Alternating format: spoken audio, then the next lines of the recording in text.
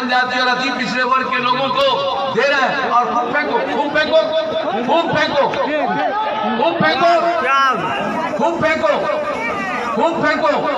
छोड़ दीजिए छोड़ दीजिए, किसी पर ध्यान मत दीजिए। आप समझ सकते हैं ना? समझ सकते हैं। इसलिए जान दो और मालूम हो जाएगा रोज़गार का कितना अवसर पैदा होगा। हमने बता दिया, किसी को मजबूरी में बिहार के बाहर जाना नहीं पड़ेगा और बिहार में लोगों के लिए पैदा होगा और आज जो बोलता रहता है सरकारी नौकरी हम बता देते हैं पंद्रह साल राज करने का मौका मिला। दस साल बिहार झारखंड एक था पंद्रह साल में कितना